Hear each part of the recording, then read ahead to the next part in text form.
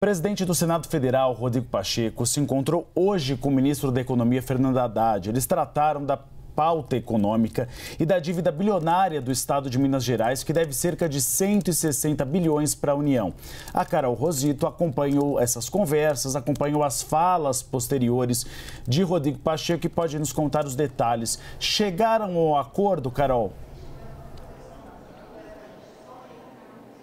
Oi, Uribe, boa tarde para você, boa tarde a todos. Olha, a, a, pauta principal né, dessa, dessa reunião lá na residência oficial que aconteceu de manhã, na residência de Rodrigo Pacheco, foi justamente para Pacheco apresentar para o ministro da Fazenda, Fernando Haddad, essa proposta de prorrogar até 31 de março de 2024 essa dívida de 160 bilhões de reais que Minas Gerais tem com a União. A ideia, então, seria suspender, a princípio, a dívida já está suspensa suspensa por uma decisão liminar do Supremo Tribunal Federal, mas manter isso até o ano que vem, até que finalizem ali os estudos, né, para chegar de fato a uma solução. Pacheco disse o seguinte, que o primeiro passo então é prorrogar a dívida e o segundo passo equacionar esse débito, que é isso que eles querem fazer então a partir do ano que vem. Essa proposta vai ser levada pelo ministro da Fazenda à Advocacia Geral da União, ao advogado Jorge Messias. A, é, a, é, Pacheco também já se reuniu hoje com o ministro do Supremo Tribunal Federal, que está com esse assunto,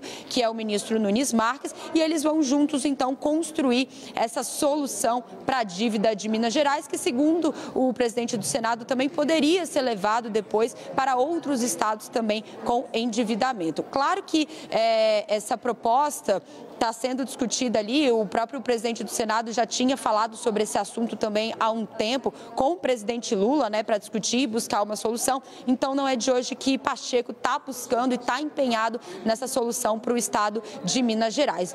É, o ministro Fernando Haddad, inclusive, saiu em defesa de, de Pacheco hoje, né, por conta daquelas críticas que o governador Romeu Zema fez em relação, a, nas palavras do governador, da demora, da falta de efetividade, né, de uma solução ali em relação a esse problema. Haddad disse que a conduta do governador não estava sendo ali a melhor conduta para chegar a uma solução. Bom, além disso, Uribe, como você lembrou, eles aproveitaram esse encontro para Haddad também falar sobre as pautas econômicas de interesse do governo aqui nessa reta final do Congresso Nacional. Haddad pediu prioridade, ouviu de Pacheco e Pacheco confirmou sim que dará a prioridade para essas pautas, todos os projetos de interesse do governo, mesmo uh, que seja necessário necessárias ali fazer mais sessões do Senado até o dia 22, 23 de dezembro, que é quando encerra o ano legislativo aqui na casa. Perguntado ali para Haddad quais seriam essas prioridades, ele disse que todos os projetos que envolvem o orçamento de 2024. Portanto, a gente vai seguir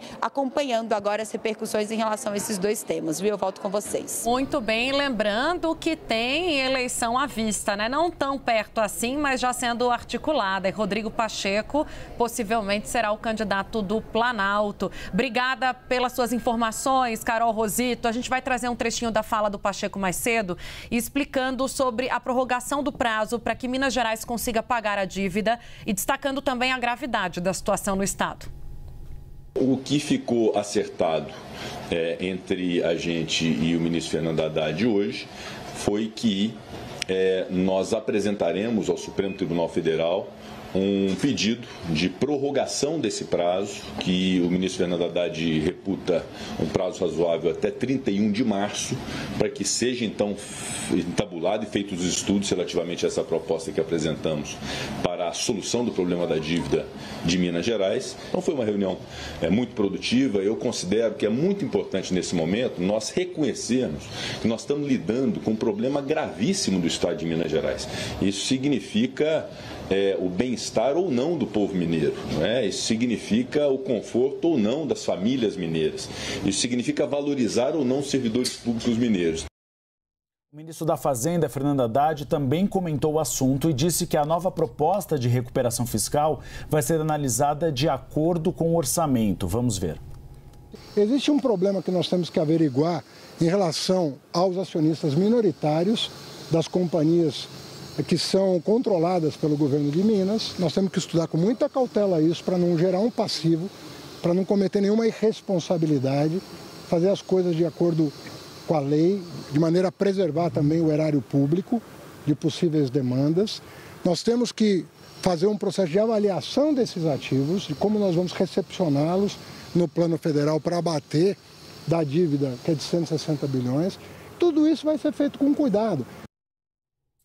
Vamos chamar a Thais Arbex para tratar justamente desse ponto, Thais, bem-vinda, do qual eu falava agora na, no finalzinho da fala de Carol. A gente não pode esquecer das eleições. Quando a gente observa um movimento do presidente Lula no sentido de agradar mais o Senado Federal e, consequentemente, o presidente da Casa, começamos a ouvir o nome de Rodrigo Pacheco como possível candidato do Planalto em 2026 para disputar a eleição em Minas Gerais.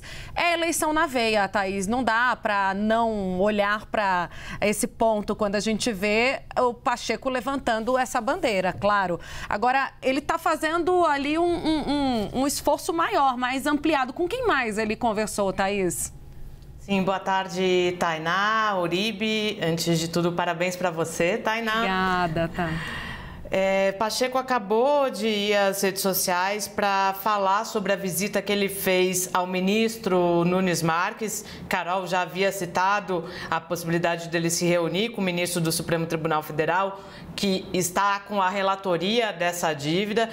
Pacheco diz que foi acompanhado do ministro de Minas e Energia, Alexandre Silveira, e diz o seguinte: tratamos da prorrogação do prazo para o início do pagamento da dívida de Minas com a União. Fomos muito bem atendidos pelo ministro, que compreendeu os aspectos jurídicos e haverá de tomar uma decisão oportunamente.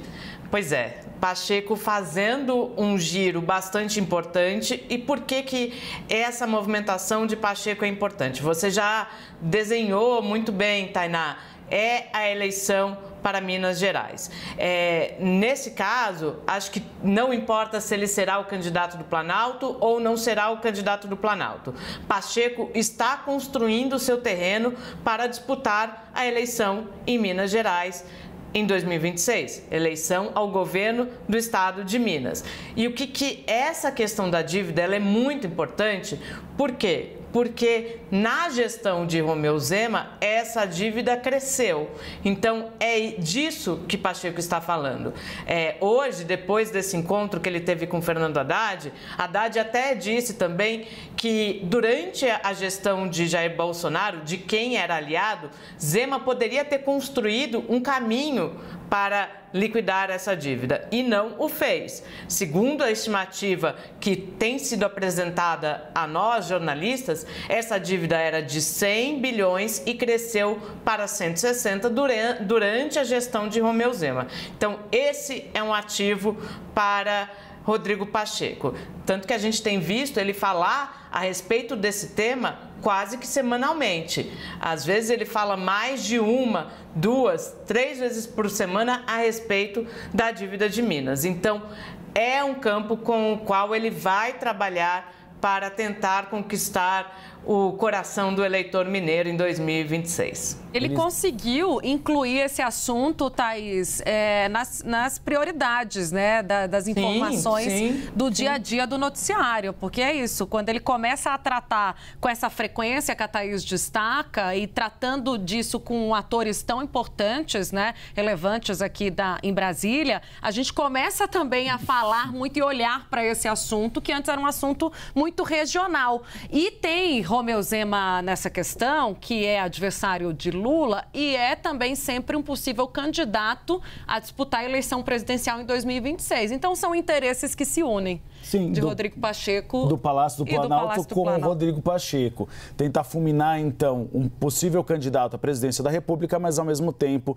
tentar avançar ou fazer avançar Rodrigo Pacheco na disputa ao governo mineiro. Obrigado, Thais Arbex. Eles